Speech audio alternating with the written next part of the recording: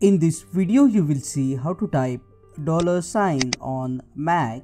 There are several easy methods to type dollar symbol. Let's get started.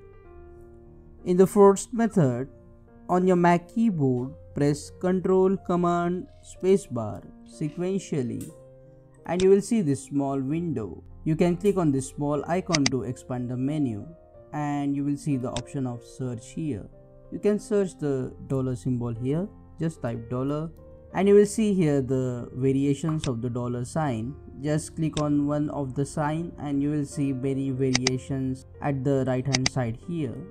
So just double click on any one of the symbol you want and it will be inserted into the document. The Mac keyboard shortcut to type dollar sign is press and hold the shift button on your Mac keyboard and then press 4 and this will insert the dollar sign. Click on that like button, comment below and let me know if this video solved your problem and don't forget to subscribe and press the bell icon.